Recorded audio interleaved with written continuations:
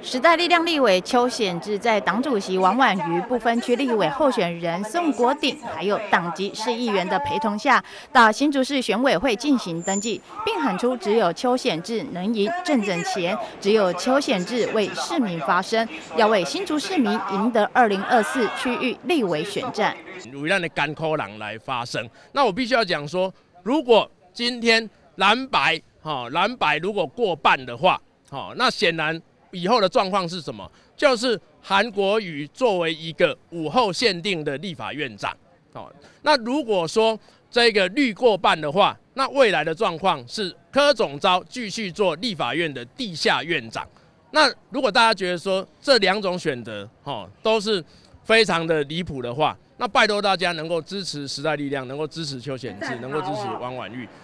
代表关键的少数邱显志左披蓝白右打绿营，积极争取民众对时代力量在国会努力的肯定。哥哥选总统，所以妹妹选立委，哦，那我觉得这到底是一个什么样的民主？哦，那另外一个部分就是说，柯美兰虽然说是无党的参选，那他同样还是要面对说民众党。好，在这个不管是黑金的这个部分，好像我现在还被民众党的这个云林的执行长告嘛，因为我说他黑道，结果他就来告我哦，或者是说这个跟中东锦的关系，乃至于说这个贪污的这个问题，那我觉得柯美兰都应该要说清楚、讲明白的。身为党主席也是战友的王婉瑜表示，这次和邱显志分别参选新竹县市的区域立委，就是希望能够再度携手，发挥一加一大于二的效果，让大新竹更好。记者万世莲新竹采访报道。